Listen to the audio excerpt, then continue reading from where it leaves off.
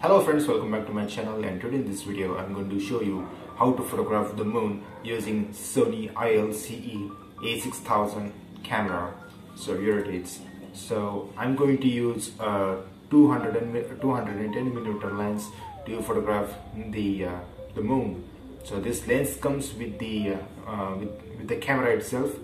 So with this lens I'm going to photograph the moon. So to photograph the moon here, you need to go into the manual settings here. So I'm going to switch it to the manual mode here. So I have switched, switched to the manual mode. I'm going to click on OK. I'm going to keep uh, the shutter speed about 1 by 60 seconds at ISO 160. First I'm going to zoom the lens at f6.3 you have to keep your ISO at low about 200 or 160 now let's go outside and shoot the moon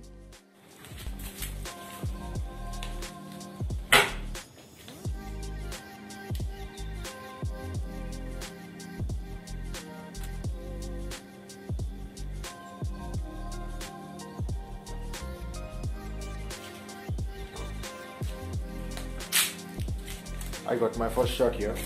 You can see it.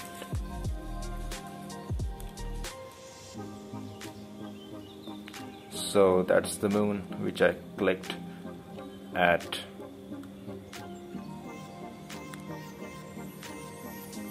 at aperture f6.3 and ISO 160 and shutter speed about 1 by 60 seconds.